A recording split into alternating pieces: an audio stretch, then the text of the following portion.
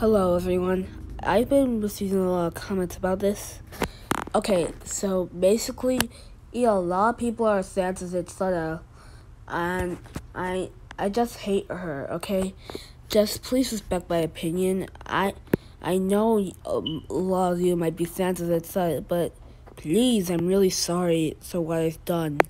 I know, and don't worry, the Inside Grizzly Wicked Grounded series is not canceled or anything. And, and I still hate its thunder though. Okay, so uh, let's discuss about this. I'm really sorry, okay? I'm just really sorry. I respect your opinion if you like that user, but I, I just hate her, okay? Just please respect my opinion. She's kind of a threat to the object show community. I'm really sorry. I know that I know you probably want to get me based on continue with the series, but uh, I respect your opinion.